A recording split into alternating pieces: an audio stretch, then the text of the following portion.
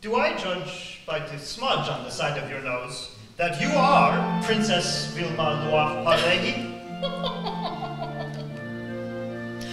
Dear Nikola Tesla, welcome, welcome to my atelier. I am delighting you are here. I have never sat for a portrait before. Never! A man of your stature! I have always been wary, considered it unlucky, but I feel a calling to do this with you. You approached me too thinly disguised agent. I knew it was you. And I feel a calling to do this with you.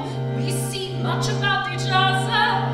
I know what I like, what I require, as do you. Regarding my new patrons,